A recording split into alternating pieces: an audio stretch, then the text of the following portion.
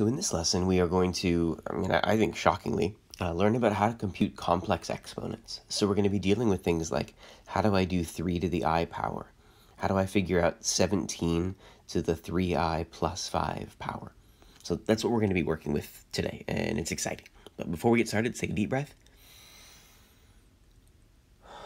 And let's begin. So I want to start this with a, I don't even know if I should call this a warm-up, sort of a calculator exercise. I want you to use your calculator to compute e to the i pi minus 1. You might not have even been aware that your calculator has the imaginary number on it. If you've got a TI-84, um, it's right above the decimal button. So if you do e to the i pi minus 1 on your calculator, you find that this is negative 2. Now, if you are reflecting on this at all, um, I hope that you are wondering, like, why? What What is this even about? Uh, in this video, I'm going to be getting into that. I'm going to be talking about why this is negative 2. I'll be honest, I'm not going to be able to give a super deep answer because we need a whole lot more calculus, which we will learn in this class, but we need a whole lot more to really, really deeply understand it. I may try and put together a second video that tries to address a little bit of it, but for today, I'm just going to be getting you uh, through a bit of an understanding of, of why and how this works and how we can apply it to other situations. It just occurred to me, you might have gotten an error when you did this on your calculator, and if you did, you're going to need to go into the mode. So if you go into your mode, down near the, like right in the middle, there's a spot where it says real, a plus bi, and re to the theta i power. If you set it to the a plus bi, you won't get an error when you do these things. I apologize that I didn't mention that earlier. All right, so here's our key point uh, that, that's going to carry us through this entire lesson. You're gonna have to again. You have to trust me on this one. I can't really get into all of the depth of why this works because we need a lot more calculus, and I don't want the video to be that long. Um, but it turns out that r e to the i theta means exactly the same thing as r cis theta. And like I said, you, you got to trust me. This is true. There's a whole lot of really great math for why it happens. Um, but for now, you got to trust me on it. This expression on the left is called Euler's form named for the same Euler that, you know, sort of named Euler's number. And the thing on the right is polar form. Okay? And so, for instance, if, if you encountered something like e to the 4i, this just means, you know, like 1 e to the 4i. You could write this as 1 cis 4. So, you know, the, the r that's in the front becomes the r that's in front of polar form, and then the number that's up here next to i is the thing that we're going to put inside of the cis here. And then if you wanted to actually compute that, you'd go through and you would do cosine of 4 plus i sine of 4. Okay? So again, this thing on the left is called Euler's form. The thing on the right is polar form. This just allows us to convert between the two of them. So now I want to revisit that warm-up. Um, this is something that we could actually do by hand, right?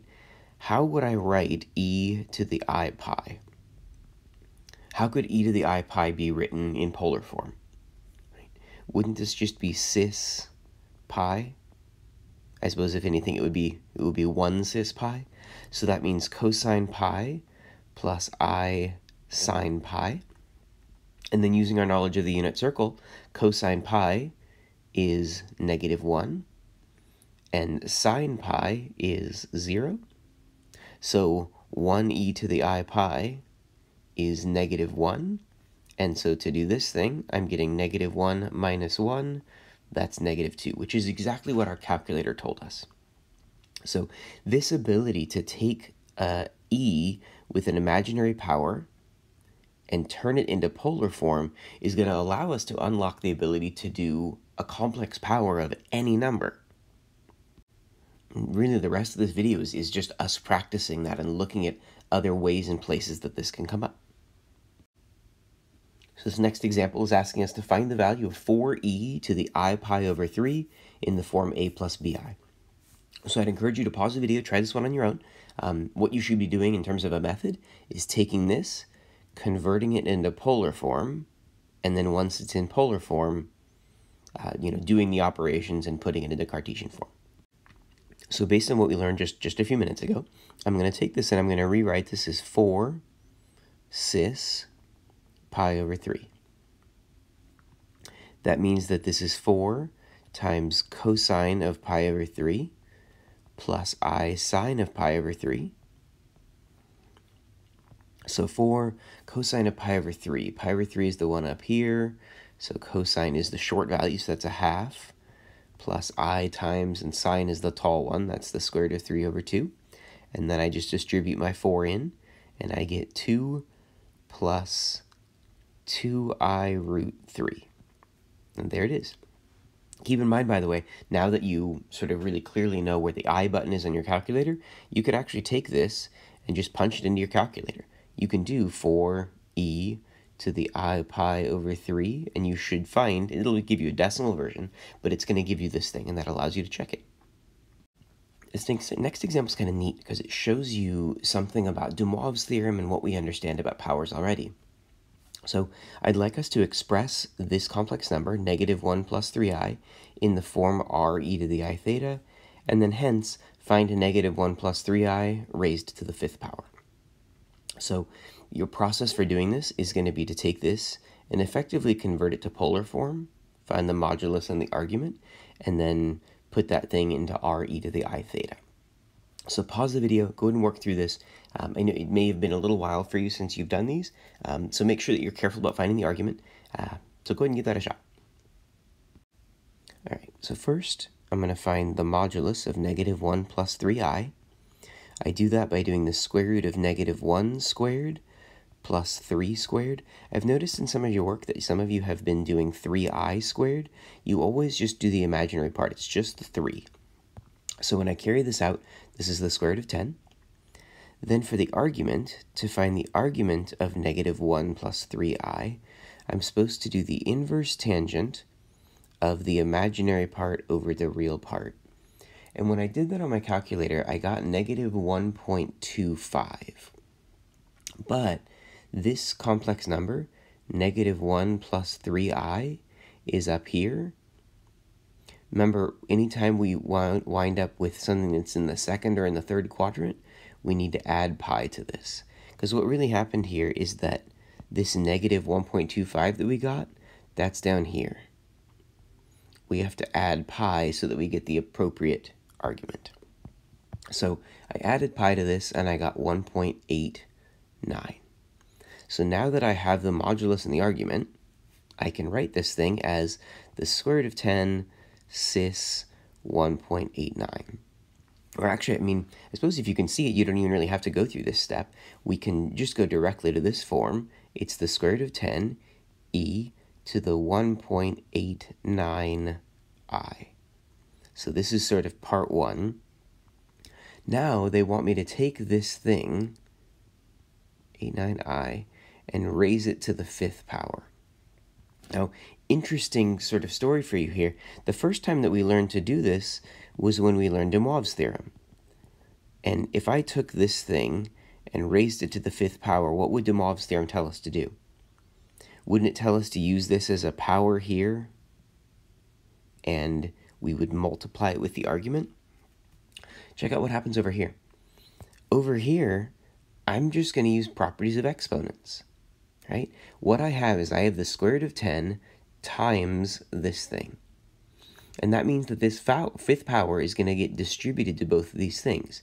It's going to get distributed to both of these, so I'd have the square root of 10 to the fifth power, and I'd have e to the 1.89i to the fifth power. But, you know, kind of funny story here. What happens when I have a power raised to another power? Don't I multiply those powers together? Just like I'm multiplying the 5 to the argument here, we're going to wind up getting the exact same thing here. So when I multiply this by 5, I'm getting e to the 9.46i.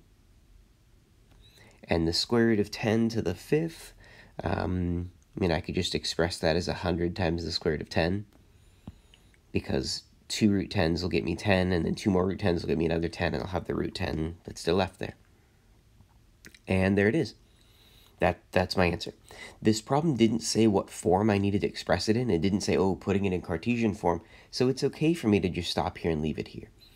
If I really wanted to convert this into a plus bi, I would take this and put it into r cis theta form. And then from there, I would split it into two pieces and make it a plus bi.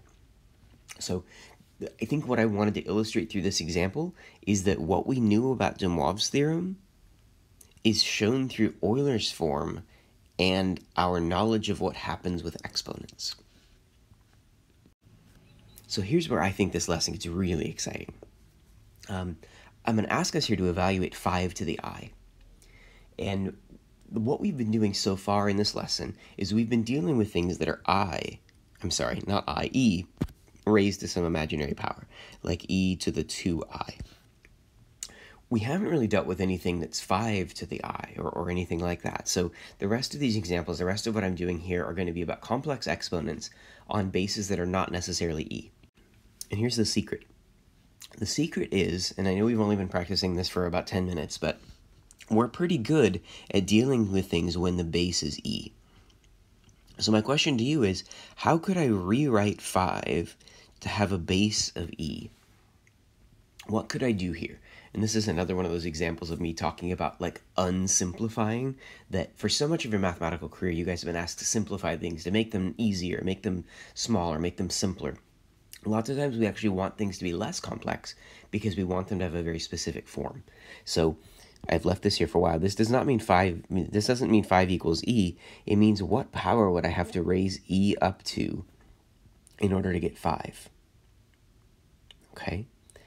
So what this is going to be is this is going to be the natural log 5 power. Okay. And if you need a little bit more convincing about that, remember that we we've we've always had this idea of like exponential form and logarithmic form. If I took this thing and rewrote it in logarithmic form, I would get the log base e of 5 equals the power, natural log of 5. And the log base e of 5, sure enough, is just natural log 5. So the secret to dealing with these problems where the base isn't e is to take the base and change it so that it has a base of e. So now this problem, instead of being 5 to the i, is e to the natural log 5 to the i. Okay, all I did there was I replaced the 5 with my e natural log 5. And then we want to think, well, what's going to happen with this i? Well, when I have a power raised to another power, remember my properties of exponents tell me that I can multiply those powers together? This will be e to the natural log 5 i. And I just put that in parentheses because I didn't want to have like a natural log of i. That seemed like that was going to get really weird, and I, and I didn't want that, and that's not what we should have. These should be multiplied. But wait a minute. This is now e raised to a power. This is now the thing that I'm good at. How could I take this and rewrite it in polar form so that I could write it in a plus bi form? Well, hopefully you recognize this thing basically has a modulus of 1 out here. So this will be 1 cis natural log 5. That means that this is cosine natural log 5 plus i sine natural log 5. And we can evaluate that on the calculator. So this, by the way, should be done in radians because the number that I'm working with here, like this isn't a measurement of degrees. This is, I need this as a real number, and radians are a much more sort of real and, and tangible and meaningful number. So the cosine of natural log 5 is negative 0.0386 plus the sine of this is 0.999i. And so this is what 5 to the i power is. No, I know that this is all sort of, you know, like surreal to you. Um, and, and I apologize that I haven't been able to get into some of the depth on why this thing works the way that it does. And like I said, I am going to try and put that together. I promise you, there is some deeper calculus that really, really shows it. But it is still, I mean, I, I don't know that I can visualize really deeply how this turns into this. At the moment, this is something that we are excited that we can do, and we may sort of have to wait a little bit on an understanding of, of what that means. So in the previous example, we did a number, 5, raised to an imaginary power i. In this example, we're going to be doing something that has a real number, 6, raised to a complex number, 2 minus 3i. I'd like to give you an opportunity to do some of this on your own, but I do think I need to talk a little bit about how to start the beginning of this. So in the beginning of this, we need to use a property of exponents that would allow me to break this into two pieces. Okay, I want to write this as 6 squared times 6 to the negative 3i. And the thing that allows me to do that is this is a, this is more unsimplifying. Um, if I have two things like this that have the same base, I'm allowed to add the powers together, right? So this really is the same thing as 6 to the 2 plus negative 3i, and that's what I had here. The reason that I want to do that is that it's going to allow me to take this thing and figure it out separately, and then this one over here, and treat it the same way that we did this one. Okay, um, we will need to sort of take care as we work through this one. You're going to follow the same process that we did on the previous one. If you feel comfortable about doing that, pause the video and work through it. If not, I'll be walking through it right here. So my 6 squared here is 36. So I have 36 times. Now over here, my method previously was I want to take 6 and I want to rewrite it as e to a power. So what power do I raise e up to in order to get 6? Well, that's going to be the natural log 6 power. So that means I can rewrite my 6 as e to the natural log 6. And that's all going to be raised to the negative 3i power. Okay. Now try and think back on what we did in the previous problem. What did I do in the previous one once I was in a position like this? Hopefully you remember that what I did is I remembered that one of my properties of exponents allows me to, when there's a power raised to a power, I multiply those powers together. So now this is 36 times e to the negative 3 natural log 6 i. And now that I have that, this thing is in the form, and it's, it's, it's messy, but this is e to the i theta. And now this thing even has an r. So now I'm going to take this, and I can write this in polar form. 36 cis negative 3 natural log 6.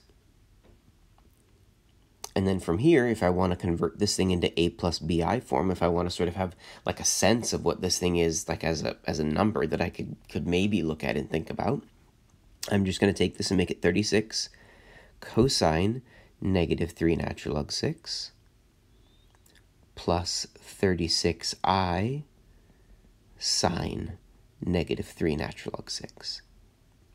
And at this point, I mean, if I want a number for this, I'm going to need to use a calculator for it. Calculator gave me that this was 22.2 plus 28.4i. And again, if you wanted to confirm this on your calculator, know that you can just do 6 to the 2 minus 3i, and it'll give you this. Now, I mean, this is some, some sort of sort of fascinating stuff here. Um, you may have noticed that many of the times when we do these, our answers are winding up being complex, but they're not always complex. In fact, the very first we, when that we did, when we, we very first started this lesson out, we did e to the i pi minus 1 and found that that was negative 2. So this one was real. Um, I definitely think there's some interesting questions here of like when do these wind up being complex? When do they wind up being real? When are they nice numbers? When are they wild, weird numbers? Um, I think there's a lot of potential here for things that could be explored if they're things that, that you all are interested in. Speaking of exciting problems, the next one that I have is is amazing, and, and I really, really hope you enjoy it. All right, here we go. This is amazing, right? So we're going to use our calculators, and I want you on your calculator to do i to the i power. Okay? So when you do this in your calculator, you find that this is 0 0.208. And I mean, it goes on, but it's real. Okay? Um, so now step B in this problem is stop freaking out that i to the i is a real number uh, my wife actually just walked in before I started this section, uh, and, and I mentioned this to her, and she had some very, very choice words um, for the fact that i to the i power is, is real. Um, but let's try and make sense of this because there's there's there's a reason that this makes sense, and so let's let's take a look at it. Um, well, rather, there's at least math that justifies it. Whether it makes sense to you or not is is up to you. So step C, I want us to find the modulus and argument of i using an Argand diagram. So if you imagine i on an Argand diagram, where is i on an Argand diagram? If this is the real axis and this is the imaginary axis, then i is right here, just up 1. Okay, so that means that the modulus of i is 1, and the argument of i is pi over 2. And that means that for step D, that means that I could express I. I is basically 1e to the i pi over 2. In other words, I is e to the i pi over 2. And if you maybe don't believe me on that one, you can punch that in your calculator. We can punch in e to the i pi over 2. Sure enough, it comes back and tells us that that's i. Okay? So now, part E is asking oh, us, okay, hence, find the exact value of i to the i. So if, if you're if you're feeling bold and you want to look at this one on your own, go ahead and pause the video. How does how does us doing this? Remember that hence is supposed to be, you know, using what you've done before. So how does this step help me to work through what this is going to be? Well, let's see here. Our, our method before was that when we had an imaginary power, we wanted to change the base into having a base of e. So now that I know that i is e to the i pi over 2, I could write this as e to the i pi over 2 to the i. And then our properties of exponents let us multiply exponents together. That means this is e to the i squared pi over 2. But we know that i squared is negative 1, so this is just e to the negative pi over 2. And I mean, that that's the exact, so i to the i power is not just 0.208 dot dot dot, some seemingly weird random real number. It's actually a very specific one. It's e to the negative pi over 2. And again, if you want to sort of like confirm and make sure that you're not like just going nuts, um, sure enough, when I punch e to the negative pi over 2 in my calculator, it gives me back this number that I had before. Step F, you don't get points for this on the IB exam, but we breathe. We've unlocked some really, really, really neat things that we can do with complex numbers. Um, and I'm sure that you're surprised that we can do this, but mathematicians shouldn't be surprised. When we allow something like the imaginary number in, one of the things I talked about many, many lessons ago, or, or when you have a new number, the, the, the, that number and your operations need to be closed. You can't do i to the i and be like, oh no, I need I need j, I need some super imaginary number. Like this, this thing needs to be sort of like a self-contained thing that we can work with. So I hope you enjoyed this problem and that you sort of got a chance to see that all of this math really does work together. These things connect to one another, um, and we get some really, really exciting results in the end. So I have one final thing to share with you in this video, and that's that this relationship between Euler's form, polar form, complex numbers, this even allows us to extend our understanding of trigonometric functions. There's actually a lot more that we can do with this that we'll be doing sort of later in the class. I'm not going to try and fit it in right now. I want to sort of wrap up the section that we're on and come back and review some of this deeper stuff a little bit later. So in this last example, I want to be showing you some of this connection. So first I want us to consider the expression e to the iz minus e to the negative iz. So in part A, I want us to show something. Show that e to the iz minus e to the negative iz is 2i sine z.